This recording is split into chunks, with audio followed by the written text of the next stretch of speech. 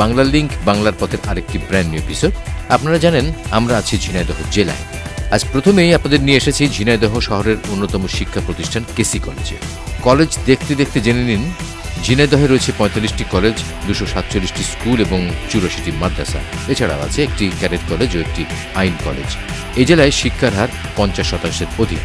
প্রখ্যাত মোটরগাড়ি ব্যবসায়ী বাবু কেশবচন্দ্র পাল উনিশশো ষাট সালে দোতলা বাড়িসহ শূন্য দশমিক পাঁচ নয় শতক জমি দান করেন এবং সেখানেই গড়ে উঠেছে এই কেশবচন্দ্র কলেজ মানে কেসি কলেজ।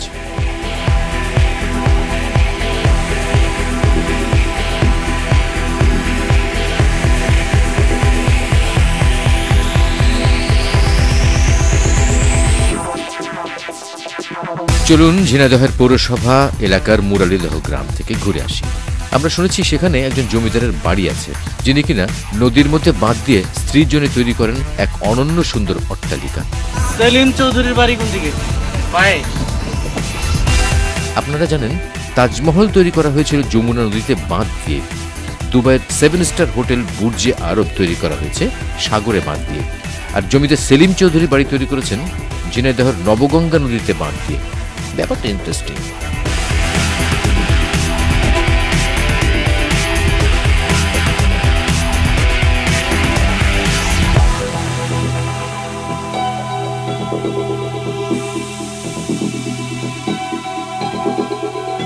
আপনারা দেখছেন জমিদার সেলিম চৌধুরীর বাড়ি। এই বাড়ি নিয়ে একটি কাহিনী আছে। এক সুন্দরী হিন্দু মেয়ের প্রেমে পড়েন সেলিম। তাকে বিয়ে করার কারণে তার পরিবার তাকে মেনে নেয় না। ফলে গভীর রাতে সেলিম চৌধুরী নববিবাহিত স্ত্রীকে নিয়ে কলকাতার উদ্দেশ্যে রওনা হন। নবগঙ্গা নদীর এই জায়গা দিয়ে যাওয়ার সময় জায়গাটা তার খুব পছন্দ হয় এবং তিনি নদীতে বাঁধ দিয়ে প্রিয়তমা স্ত্রীর জন্য তৈরি করেন এই বাড়িটি। এখানেই তারা আমৃত্যু বসবাস করেছেন। তার স্ত্রীর নাম ছিল মুরারি। তাদের কোনো সন্তান ছিল না। তার স্ত্রীর নামে বর্তমানে এই গ্রামটির নাম মুরারি দহ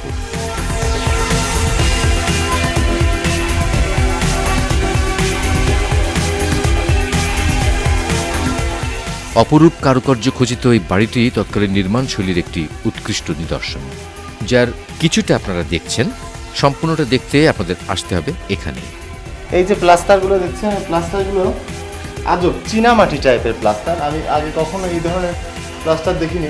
অনেকটা মূর্তি যে ধরনের শ্বেত পাথর দিয়ে তৈরি করা হয়, সেই ধরনের পুরো দেওয়ালটাই ওই ধরনের, দারুণ ফিনিশিংয়ের একটা দেওয়াল। আর এখানে আরেকটা জিনিস আছে, সুরমা আছে, আপনারা জানেন সুরমা চোখে লাগায়। সেই সুরমা নাকি এখানে পাওয়া যাবে। আসেন আমি আপনাদের এই যে কার্নিশগুলো দেখছেন, এই কার্নিশগুলোর ভিতরে এই যে কালো যে জায়গাগুলো দেখছেন, এগুলো সব সুরমা দিয়ে তৈরি করা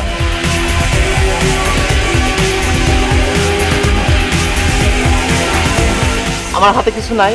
এবার দেখেন। সুরমা। চোখে লাগানো সুরমা। আঠারোশো সালে পঁচাত্তর হাজার টাকা ব্যয়ে সাত বছর ধরে নির্মিত অনিন্দ সুন্দর এই বাড়িটি বর্তমানে ধ্বংসের পথে।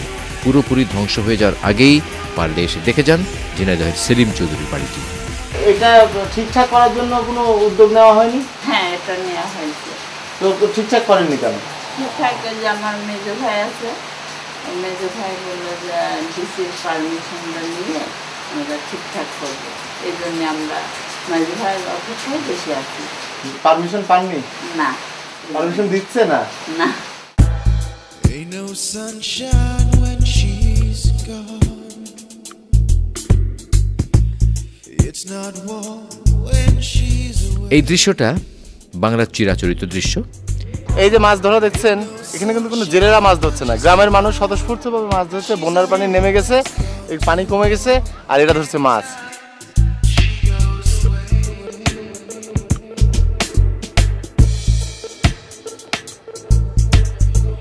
এটা হচ্ছে মাছ ধরা থুরকুস, স্পোক দিয়ে বানানো।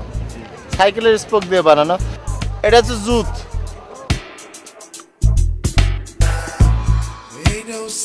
এই আনন্দে যারা অংশগ্রহণ করেননি, তারা ভাবতেও পারবেন না এখানে কি ধরনের আনন্দ হচ্ছে।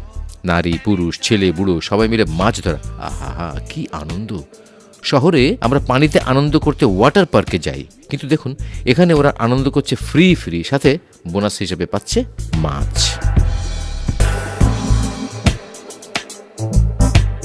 ঝিনাদে এসে খুব ভালো লাগল।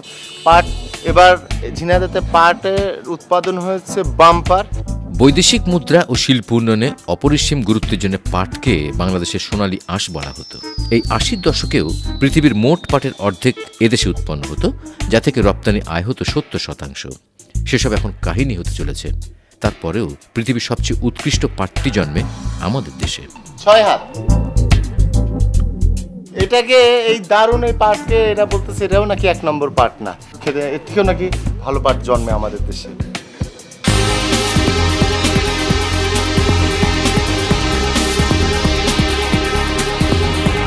বন্ধুরা, এই যে সেতুটা দেখছেন, এটা বিষয়খালী সেতু। এই সেতুতেই বাংলাদেশের মুক্তিযুদ্ধে প্রথম সম্মুখ যুদ্ধ সংগঠিত হয়েছিল। দিনটা ছিল পহেলা এপ্রিল উনিশশো একাত্তর। যশোর ক্যান্টনমেন্ট থেকে বর্বর পাকিস্তানি সেনাদল জিনাইদহ দখলের উদ্দেশ্যে এগিয়ে আসতে থাকলে মুক্তিযোদ্ধারা বেগবতী নদীর এখানেই গতিরোধ করে, যুদ্ধ পেতে যায়। তিন ঘণ্টা তুমুল যুদ্ধে হেরে গিয়ে ষোলো এপ্রিল আবারও বর্বর পাকিস্তানি সেনারা ঝিনাইদহ দখলের চেষ্টা চালালে মুক্তিযোদ্ধারা রুখে দাঁড়ায়। সেদিনের যুদ্ধে শহীদ হন অকুতভয় মুক্তিযোদ্ধা গোলাম মোস্তফা, সদরুদ্দিন, দুঃখী মাহমুদ, আব্দুল কুদ্দুস, খলিলুর রহমান, কাজী নাজির উদ্দিন শামশের আলী। যুদ্ধ ছড়িয়ে পড়ে সারা ঝিনাইদহে। ভাই বট গাছটা কোন দিকে? বট গাছ সামনে? ওই ওইটা না? এই যে লিঙ্ক বাংলার পথের বন্ধুরা আমরা এসে গেছি ঝিনাইদহের কালীগঞ্জ উপজেলা থেকে দশ কিলোমিটার পূর্বে মালিয়াট ইউনিয়নের বেথুলি গ্রামে। এখানে আছে এশিয়ার বৃহত্তম প্রাচীন বটগাছ। এই বুড়ো বটগাছটি দুশো বছরেরও বেশি পুরনো। এলাকার লোকেরা এটিকে সুইতলা মল্লিকপুরের বটগাছ নামে ডাকে। এই জায়গাটির মালিক ছিলেন রায়গ্রামের জোদ্দার নগেন সেনের স্ত্রী শৈলবালা। তখন এই বটগাছের নিচে কালী পুজোর আসনে তিথি অনুযায়ী পাঁঠা বলি হতো। আর এখন এটি পর্যটনের একটি দারুণ স্পট। দেখুন।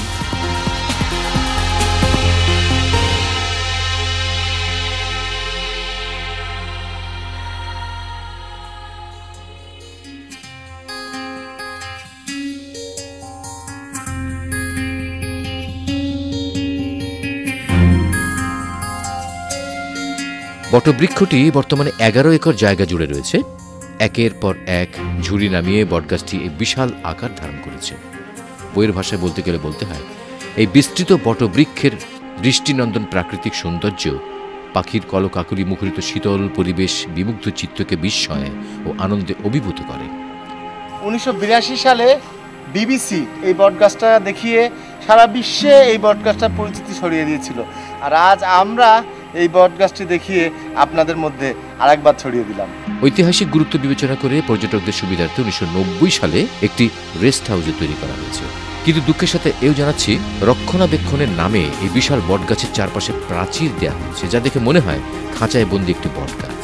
বটগাছের শ্রীবৃদ্ধির নামে এর ভেতরের ফাঁকা জায়গায় যত্রতত্র গাছ লাগানো হয়েছে, আর যার কারণে বটগাছের বিশালতা আর বোঝা যায় না। অযত্ন, অবহেলার ছাপ দৃশ্যমান। তবু আসুন ঘুরে যান, দেখে যান আন্তর্জাতিক খ্যাতিসম্পন্ন এই বুড়ো বটগাছটি এটি দেখতে আপনাদের আসতে হবে ঝিনাইদহের কালীগঞ্জ উপজেলা থেকে দশ কিলোমিটার পূর্বে মালিয়াট ইউনিয়নের বেতুরি গ্রামে।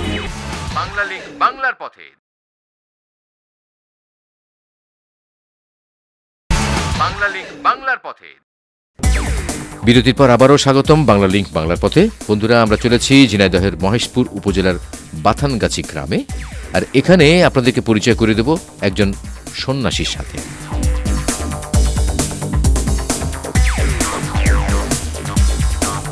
এই যে মাছ বিক্রি করছেন উনি আসলে একজন সন্ন্যাসী। চড়ক জিনিসটা কি? সত্য পূজা আপনি কি করেন? আপনি সন্ন্যাসী? ওই পূজায়? ওই পূজায় কি হয়? পুণ্যের কাজ হয়। মানে ওখানে একটা স্পেশাল একটা ব্যাপার স্যাপার হয় চড়ক জিনিসটা কি? সড়ক জিনিসটা আপনার এই মানে যেটা গাছের দিয়ে সড়ক সড়ক সড়ক পাক হয় আর কি। একটা গাছ থাকে ওখানে? হ্যাঁ, হ্যাঁ, গাছ তার সঙ্গে কি করা হয়? শেষটা সা- মানে বড়শি দিয়ে আপনার বান দিয়ে পাক দেওয়া হয়। মানুষকে বাঁধে? হ্যাঁ হ্যাঁ। বর্ষি দিয়ে? বড়শি। কোথায় বাঁধে? পিঠে। পিঠের মধ্যে কয়টা বর্ষি লাগায়? দুটো। দুইটা বর্ষিতে ঝুলাই ফেলে? আর গাছটা তো এরকম সোজা থাকে? হ্যাঁ গাছ সুদাই তো গাছটা যদি সোজা থাকে তাহলে আপনারা কীভাবে করেন? এইভাবে কি ঝুলে ঝুলে করেন? হ্যাঁ ঝুলে মানে ওই নিচেতে পাক দেয়। আপনি একটু পিঠটা দেখাবেন আমাদের? হ্যাঁ। দেখান। না এই এই এই এই দাগগুলা? এই দাগগুলোর মধ্যে ওই বর্ষি লাগানো হয়? এইভাবে ঢুকায় দেয় বর্ষি শুনলেন চরক পূজা সম্পর্কে অনেক কিছু। তবে দেখাতে পারলাম না ভাবছি আগামী চৈত্র মাসে আপনাদেরকে দেখাবো। হ্যাঁ আমরা চলেছি নলডাঙ্গা রাজবাড়ি দেখতে। তো যেতে যেতে লিখে নিন আমাদেরকে যোগাযোগের ঠিকানা। পরিচালক বাংলা লিঙ্ক বাংলার পথে পঁচিশ দিলু রোড নিউ কার্টুন ঢাকা এক শূন্য শূন্য শূন্য বাংলাদেশ। এস এম এস করুন zero one nine double one six two four seven three six. আমি আবার বলছি zero one nine double one six two four seven three six এই নম্বরে। নলডাঙ্গা কোন জায়গায়? যাব কোন দিক থেকে এটা দিয়ে হ্যাঁ আচ্ছা ঠিক আছে। ঝিনাইদহ সদর উপজেলার দক্ষিণে বেগবতী নদীর তীরে নলডাঙ্গা ও পাশের গুঞ্জনগর গ্রাম দুটিতে ছিল বিখ্যাত নলডাঙ্গা রাজত্ব। আমরা চলেছি সেই রাজার বাড়ি দেখতে। সভ্যতা টিকে থাকে এমন কোনো কিছুর মধ্যে এই পুকুর বা দিঘিই পড়ে এখন যা মনে হচ্ছে। নলডাঙ্গা রাজবাড়ির একটা ইটু এখন নেই কিন্তু রয়ে গেছে তার এই পুকুরটা। দেখেন রাজবাড়ির পুকুরই দেখেন। নলডাঙ্গা রাজবংশের প্রতিষ্ঠাতা ছিলেন বিষ্ণুদাস হাজরা। এখানে একসময় জোরবাংলা মহল রংমহল কালিকাদহ দ্বাদশ মন্দির সহ রাজবাড়ির অনেক স্থাপনা ও শান শকত ছিল যা এখন সময়ের গর্বে হারিয়ে গেছে। রাজা নেই রাজার আদরও নেই। দেখুন।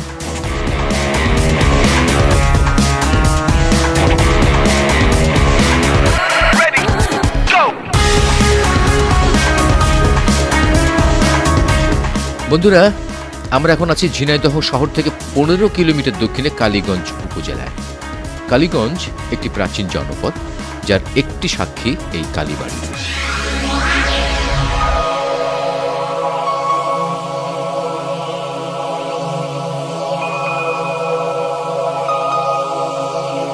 অনেক অনেক দিন আগে এই চিত্রা নদীতে উড়িষ্যা থেকে বিভিন্ন জায়গা থেকে হাজার মণি পাঁচশো মণি নৌকা আসতো, মহাজনী নৌকা, এবং তারা এই ঘাটে দাঁড়াতো, এবং উড়িষ্যা থেকে কিছু উড়িয়া তখন এখানে আসতো।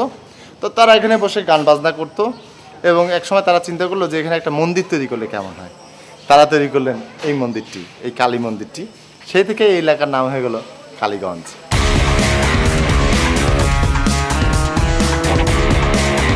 আপনারা অনেকে দেখে থাকবেন চিত্রা নদীর পাড়ে এই চলচ্চিত্রটি। চিত্রা নদী পাড়ের চলচ্চিত্রে সেই চিত্রা নদী হচ্ছে এটা। মাথাভাঙ্গা নদী থেকে জন্ম হয়ে ঝিনাইদহ জেলার কোটচাঁদপুর ও ঝিনাইদহ সীমান্ত দিয়ে প্রবাহিত হয়ে কালীগঞ্জ শহরের মাঝখান দিয়ে চিত্রা নদী যশোর জেলায় প্রবেশ করেছে। ঝিনাইদহ জেলায় এই নদীর আয়তন দুশো তিরাশি হেক্টর। দিস ইজ চিত্রা নদী।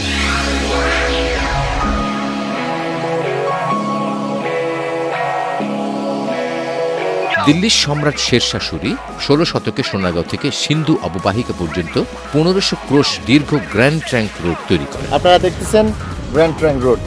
রাস্তাটি সোনাগাঁও থেকে বিক্রমপুর নবাবগঞ্জ মানিকগঞ্জ দিয়ে ফরিদপুর ঝিনাইদহ যশোর জয়পুর বারাসা দমদম আলিপুর হয়ে উড়িষ্যা চলে গেছে যার কিছুটা এখনও আছে এবং আপনারা দেখছেন।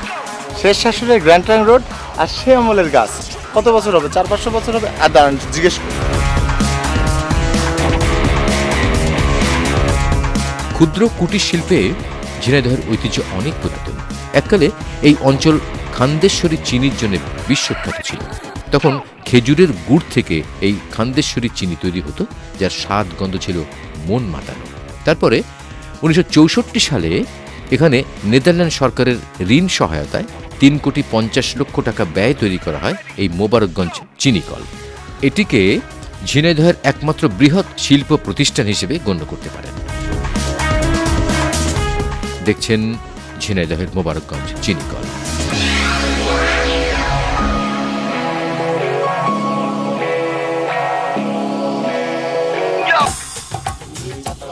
ঝিনাইদহের উর্বর মাটি যেমন ফুলে, ফসলে সুশোভিত তেমনিভাবে এই মাটিতে জন্ম নিয়েছে অসংখ্য কৃতি বরেণ্য ব্যক্তিত্ব, যাদের অনেকেই স্বমহিমায় সমুজ্জ্বল।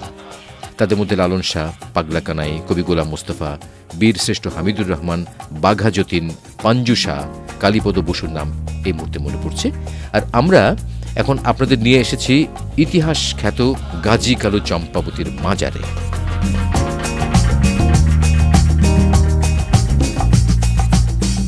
গাজী কালু চম্পাবতীর মাজারটি ঝিনাইদহের কালীগঞ্জের বারো বাজারে অবস্থিত। এদের পরিচয় নিয়ে আছে নানান কিংবদন্তি। জনশ্রুতি আছে বৈরাটনগরের শাসক দরবেশ শাহ সিকান্দারের পুত্র গাজী আর পোষ্যপুত্র কালু। গাজীর সাথে সাফাইনগরের মুকুট রাজার মেয়ে চম্পাবতীর দেখা হয়। ধর্মের ভেদাভেদ ভুলে গিয়ে তারা প্রেমের সম্পর্কে জড়িয়ে পড়েন। কিন্তু বাদশাদের মুকুট রাজা এবং সেনাপতি দক্ষিণা রায়কে আদেশ দেন গাজী কালুকে সায়স্তা করতে। কিন্তু সেনাপতি পরাজিত হয়ে ইসলাম ধর্ম গ্রহণ করে গাজীর অনুসারী হয়ে যায়। এরপরে গাজী তার অনুসারীদের নিয়ে বহু যুদ্ধ করে রাজা মুকুট রায়ের কাছ থেকে চম্পাবতীকে উদ্ধার করে নিয়ে আসেন এদিকে গাজীর পিতা শাহ সিকেন্দার এই বিয়ে মেনে নিলেন না।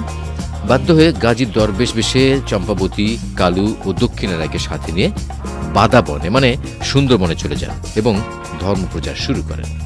গাজী কালুর মাজারে হিন্দু মুসলিম নির্বিশেষে সব সম্প্রদায়ের মানুষ মানত করে। আচ্ছা পানি খেলে কি হয়? এই এসে সবাই খায় গাজী পানি। সবাই খায় এটা। পড়া পানি বলে? জি পড়া পানি বলে। আচ্ছা দেন ওনাকে দেন। খাও বাবু খাও।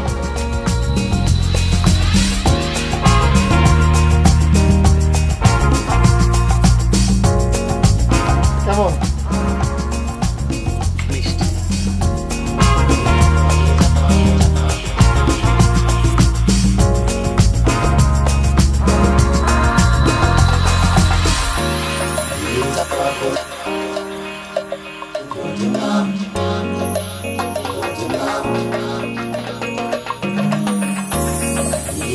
এই মাজারের সাথেই রয়েছে শ্রীরাম রাজার বেড় দিঘি।